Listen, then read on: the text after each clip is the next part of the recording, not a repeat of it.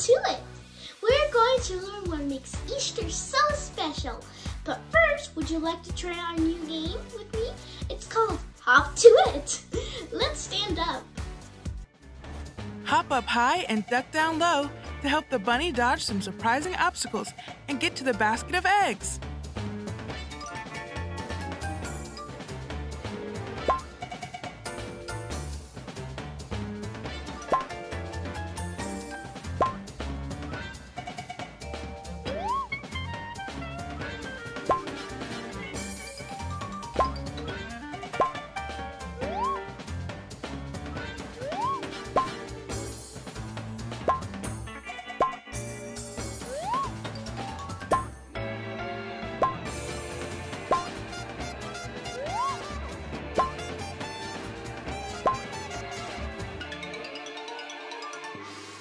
Job!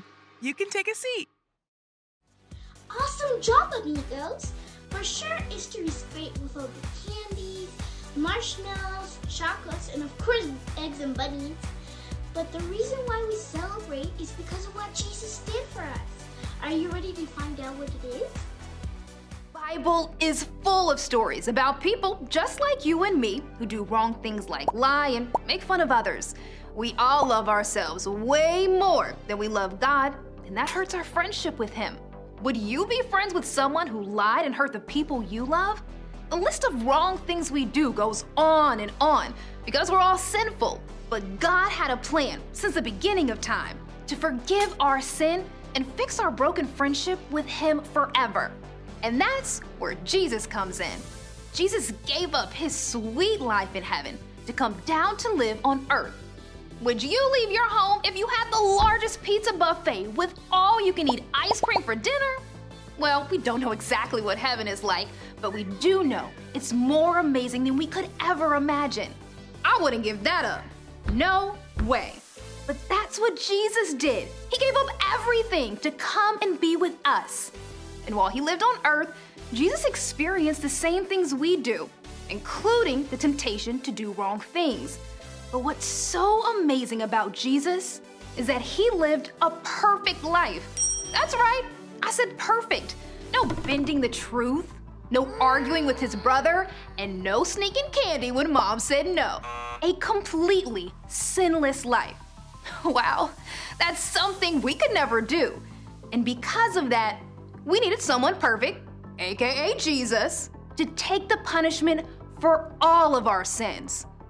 As Jesus got older, he began traveling around, telling everyone about God's love, healing the sick, walking on water, and performing miracles. We're talking feeding thousands of people with one tiny lunch kind of stuff.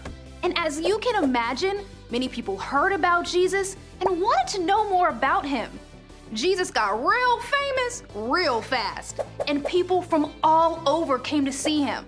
But as his popularity grew, it started to make the religious leaders at the time really uncomfortable. They were like, What? Does he say he's God's son? The Messiah? The Savior God has promised? That can't be right.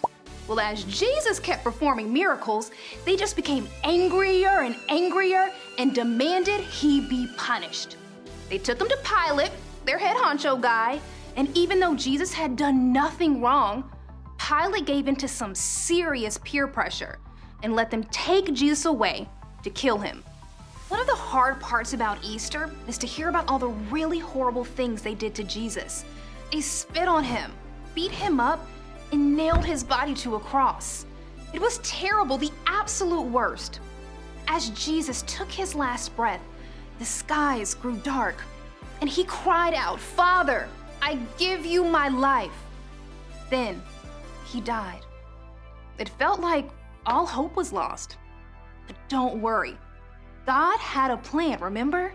One of the religious leaders named Joseph didn't agree with what had been done to Jesus. It's like he knew that Jesus was really who he said he was. So he took Jesus' body down from the cross, wrapped it in linen, and placed it in his own tomb. Then a large stone was set in place to cover the entrance. Three days later, two of Jesus' friends named Mary went to visit his tomb, and that's when they got the surprise of their lives. The earth began to shake. And out of nowhere, an angel appeared to roll the stone away. The angel told the women that Jesus had risen just as he said he would, and they should go quickly and tell the others that Jesus is alive. Did you hear that? Jesus is alive. They had the most surprising and wonderful news. Soon after, Jesus began appearing to his disciples and many others. He encouraged them to give their lives to following him and sharing the good news of how he came to save everyone from their sins. And the best part was that Jesus promised to be with them and help them do it. So naturally, the disciples were like, sign me up! They spent the rest of their lives telling others all about Jesus' love. And we can too.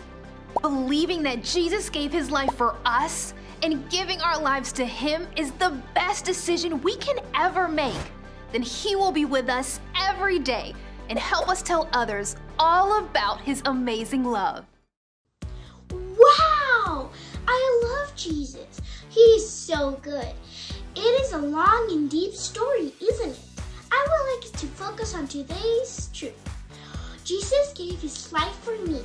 His love for us is so strong and unconditional that he didn't doubt for a second about giving his life for us.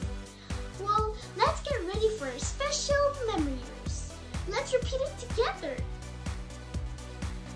We know what love is because of Jesus He gave his life for us. 1 John 3.16 Great job, friends! See you next week to continue our Easter story. Remember to invite a friend. See ya!